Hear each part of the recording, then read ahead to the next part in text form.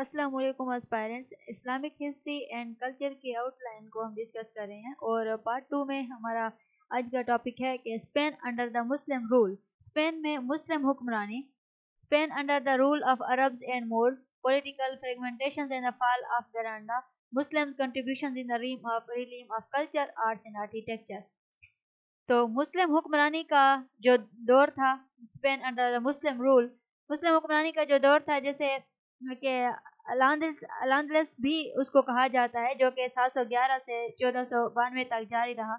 और ये दौर जो था वो सियासी सकाफती और साइंसी तरक्यात से भरा हुआ था।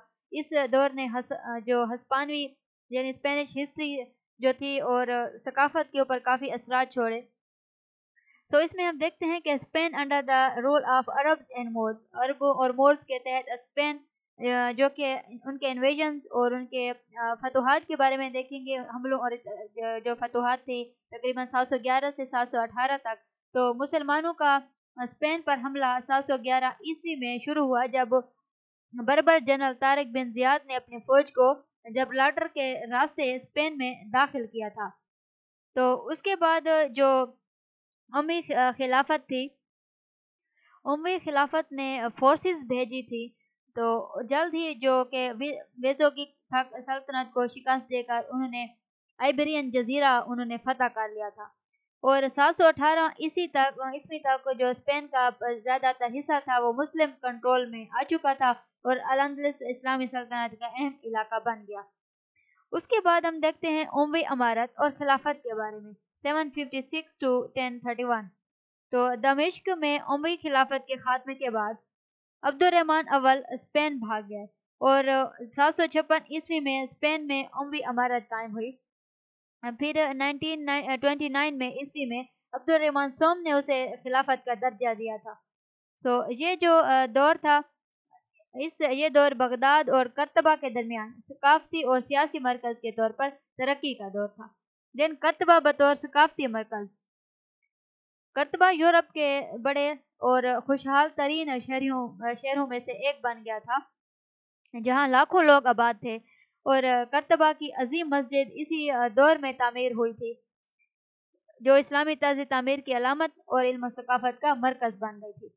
Then political fragmentation and fall of गरनाता गरनाता का जो सवाल, यानी कि जवाल आया था 1492 में civil war and political fragmentation से तो ten thirty one to fourteen ninety two सियासी तकसीम और गरनाता का जवाल। तो खाना जंगी हुई थी, सियासी तौर पर तकसीम हुई थी। टेन थर्टी वन में अमवी खिलाफत के खात्मे के बाद अलंदलस छोटी छोटी रियासतों में ये तकसीम हो गया था जिन्हें तवायफुल मलूक कहा जाता था। और ये जो डिवीज़न थी, ये तकसीम मुस्लिम हुक्मरानी को कमज़ोर कर गई थी और ईसाई रियासतों के हमलों के लिए अलंदलस को मज़ीद उसने नाजुक बना दिया था। देन uh, हमने डिस्कस करेंगे स्कूत अंतलस को और ये एक सदियों पर मुश्तमिल तहरीक थी जिसमें ईसाई रियासतों ने आइबेरियन जजीरा वापस लेने की उन्होंने कोशिश की थी। तो इससे के अहम वाक़ात जो हैं जो कि इसमें के अंदर शामिल हैं 185 टू 1085 में जो तल तिला का कब्ज़ा था। तो इसमें ट्वेल्व ट्वेल्व में जो लास्ट नॉवेस थे उन लास्ट नॉवेस दी टोलोसा की जंग जो मुस्लिम हुक्मरानी के खिलाफ एक अहम और साबित हुई थी। तो ईसाई अफवाज ने वक्तन फवक्तन जनूबी इलाकों पर उन्होंने कब्जा जारी रखा था। देन हम देखते हैं गरनाता का जवाल जो कि 1492 तक था तो स्पेन में वाहिद बाकी रहने वाली मुस्लिम रियासत गरनाता थी। तो बड़े अरसे के बाद, तोवील मुहासरे के बाद, कैथोलिक फरमा रवा और इसमें जो थे Ferdinand or Asbila captured Garnata in January 1292, marking the end of the Muslim rule in Spain.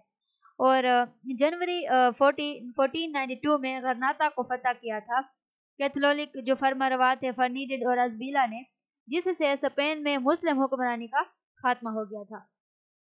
तो गरनाता की तस्लीमत मुआदा गरनाता के तहत हुई जिसमें मुसलमानों को मजहबी आज़ादी का वादा किया गया था। लेकिन बाद में ये वादा वापस ले लिया गया था और मुसलमानों को जुल्म सितम का सामना करना पड़ा था then Muslim contribution in the of culture arts and architecture Cultural contributions, the period of Muslim rule in Spain was characterized by blending of the cultures, leading to significant advancements in various fields.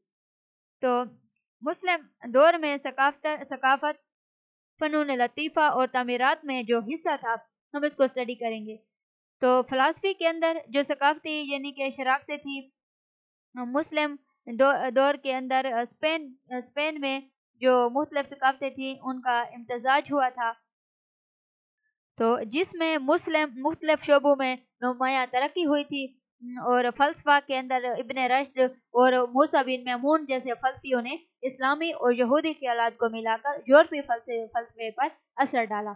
Then literature है अदब है। तो इबन जजूद जैदून जैसे जो शायर थे, उन्होंने और इस्लामी सकाफत की अक्सी करने वाले अदबी काम तो उनके मंजर यहाँ पर आए थे। Then advancements in science in medicine Muslim scholars जो थे, वो अल अंदलस और made notable contribution scientific field यानी अल अंदलस के मुस्लिम उलमा ने साइंस के मुख्तलिफ़ शोबों में अहम किरदार अदा किया।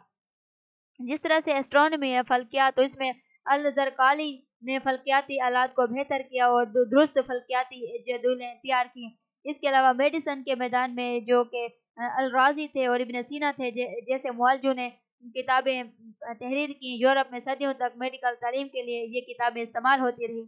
दिन तमीराती अचीवमेंट्स की अगर हम बात करते हैं, यानी आर्किटेक्चरल अचीवमेंट्स तो अलंदलस का तर्ज तमीर अपनी खूबसूरती और जिदत के लिए जाना जाता है। द ग्रेट मस्क ऑफ़ करतबा करतबा की जो कि अजीम मस्जिद थी इस्लामी तर्ज तमीर का एक शाहकार थी और जिसमें खूबसूरत मुहराबे थे सतून बने हुए थे और एक शानदार मुहराब दुआ यानी मुहराब वगैरह मौजूद थे। और इसके अलावा इसके अंदर जो कि महल थे अलहमरा महल तो एक यूनेस्को आलमी विरसा साइट जिसे इसकी खूबसूरत बागात, पेचीदा टाइल वर्क और शानदार महलाती तर्ज तमीर की वजह से ये जाना जाता है। उसके बाद थी मस्जिद मदजार यानी मदजार तर्ज तमीर। एक मुनफरद तर्ज तमीर थी, जो इस्लामी और ईसाई इन एलिमेंट्स का इम्तजाज था, जो स्पेन के मुख्तु चर्चों और अमारतों में नज़र आता है। Then art and decoration artistic contribution of the Muslim tile work calligraphy geometric pattern so colourful ceramic tiles mosque palaces and public buildings fun और आरइश कैसी थी इस दौर में? तो मुस्लिम दौर के जो फनकाराना यानी कि इसके अंदर शराकतें थी, वो भी शामिल थी। यानी टाइल वर्क, रंगीन सिरामिक टाइलें थी, जो मसाजिद महलात और अवामी अमारात की आरइश के लिए इस्तेमाल होती थी। इसके अलावा ख़ताती थी यानी अरबी ख़ताती एक अहम फ़न बन गई थी, जो मजहबी मतवन और अमारतों में नज़र आती थी और अरबी ज़बान की खूबसूरती को उजागर भी करती थी। देन जियोमेट्रिक पैटर्न्स हैं। जियोमेट्रिक पैटर्न्स यानी कि इंट्रिकेट एक पेचीदा ज्योमेट्रिक डिज़ाइन अरबिसिक अरबिसिक जो स्पेन में इस्लामी फन की खासियत बने थे। So Muslim rule in Spain from left and indelible mark on Spanish culture architecture and society the period was characterize by significant achievements in science philosophy literature and art fostering cultural exchange that influenced Europe for centuries तो सात सौ ग्यारह से चौदह तक Spain में Muslim हुक्मरानी ने हस्पानवी सकाफत fun तमीर और माशरे के ऊपर गहरे असरात मरतब किए थे और इस दौर में साइंस, फलसफा, अदब और फ़नून लतीफ़ा में नुमाया कामयाबी हाँ हासिल की गई थी। जिसने यूरोप में सकाफती तबादलों को, सकाफती एक्सचेंज को फ़रोग दिया और लेकिन गरनाता के जवाल के बाद स्पेन में मुसलमानों की मौजूदगी ख़त्म हो गई थी। और so the legacy of Al-Andalus continues to resonate in contemporary Spanish culture and architecture showcasing the enduring impact of this remarkable period और लेकिन अल-अंदलस की मेरास आज भी स्पानवी सकाफत फन तामीर में नज़र आती है जो शानदार दौर की देर पासरात को भी ज़ाहिर करती हैं सो so, अरबों और मोर्स के तहत स्पेन के दौर को हमने डिस्कस किया जो कि 711 से चौदह तक था इसमें हमने स्टडी किया मुस्लिम अफाज की क्यादत किसने की कि जब उन्होंने 711 ईस्वी में स्पेन पर हमला किया था तो तारीख तारीख बिन जजात जियाद ने मुस्लिम अफाज की क्यादत की थी। देन हमने स्टडी किया उम्र खिलाफत ने स्पेन में अलंदलस को किस साल मुकम्मल फतह किया था? तो 718 ईस्वी में अलंदलस फतह हुआ था। अब्दुलरहमान अव्वल ने स्पेन में अमवी अमारत कायम की थी सात सौ छप्पन ईस्वी में और करतबा इस इस्लामी सकाफत का अहम मरकज बन गया था अब्दुलरहमान सोम के दौर में। देन हमने पॉइंट टू के पॉइंट टू के अंदर डिस्कस किया कि जो सियासी तकसीम थी और घरनाता का जवाल किस तरह से आया था चौदह सौ बानवे में? तो इस अमवी खिलाफत के खात्मे के बाद स्पेन में कौन सी छोटी छोटी रियासतें बन गई थी? तो जिसमें थी जो रियासत बनी थी, ताइफे रियासत, ताइफा रियासतें बनी थी और उसके बाद जो स्कूद अंदलस का आगाज़ था वो कब हुआ था और इसका मकसद क्या था?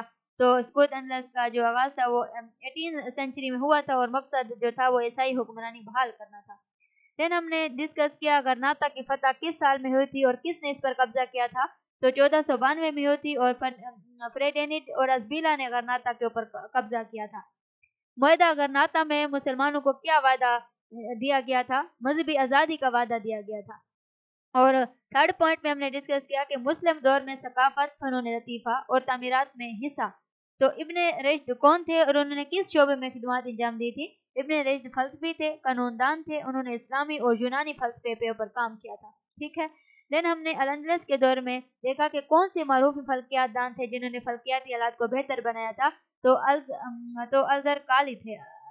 अलजर काली ने इस दौर के अंदर यानी मरूफ फलकियात थे जिन्होंने फलकियाती आलात को बेहतर बनाया था।